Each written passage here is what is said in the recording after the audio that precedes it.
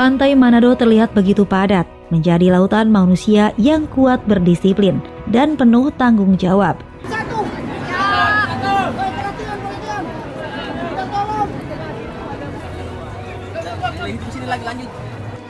Di antara aktivitas peserta yang hadir, tampak Ikatan Pemulung Indonesia bergerilya menyisir area pantai Manado agar tetap bersih.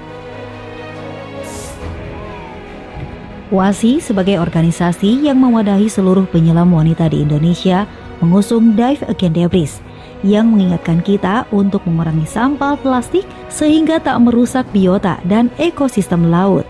Tentunya kita juga dari aspek kebersihan tempat karena kita ketahui sepertinya di mana pun di belahan dunia eh, masalah sampah plastik itu sudah menjadi isu internasional, uh, terutama Indonesia saat ini menduduki tempat kedua sebagai penghasil sampah plastik di dunia.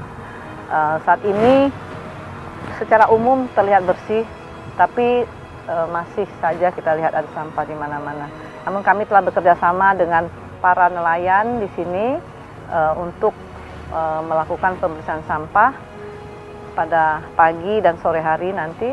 Juga di darat kami bekerjasama dengan Ikatan Pemulung Indonesia yang e, mengambil sampah-sampah e, terutama sampah plastik yang merupakan adalah salah satu mata pencarian mereka karena sampah-sampah plastik itu e, bisa mereka jual untuk didaur ulang kembali. 1014 meter persegi bukan sebuah ukuran yang kecil. Namun beban dan tanggung jawab yang besar tak sebanding dengan rasa cinta pada sang saka merah putih.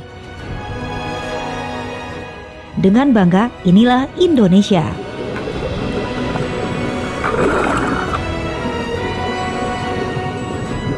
Bendera sudah dikibarkan, maka semangat juang tak akan pernah bisa dipadamkan.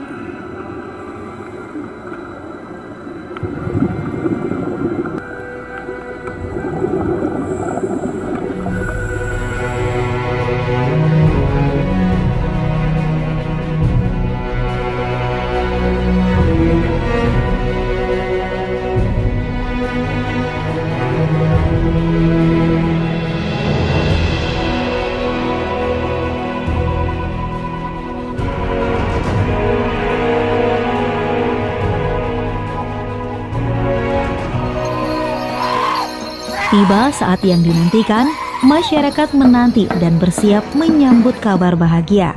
So, Indonesian flag today was 1,014 square meters. So again, you are officially placing the Guinness World Records. Berhasil! Kita tangan lagi! Tiga rekor dunia! Tepuk tangan untuk pemecahan rekor bendera terbesar yang dibentangkan di bawah luar biasa. Kita menerima dua dari Guinness World of Record luar biasa. Harapan saya uh, masyarakat merasa bangga bahwa kita mampu membuat rekor dunia. Uh, ada tiga rekor dunia.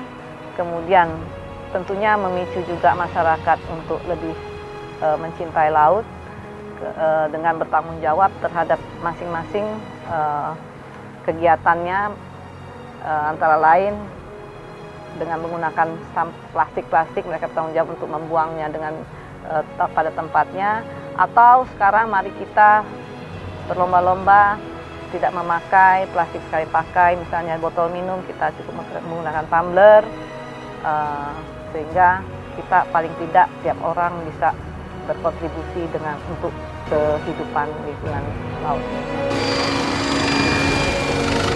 Ucapan selamat pada para pemenang yang telah berjuang melawan rasa takut derasnya arus dan dinginnya air di pedalaman Teluk Manado.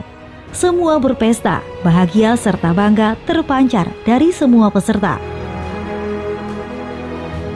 Inilah kado terindah dari Wasi untuk Indonesia.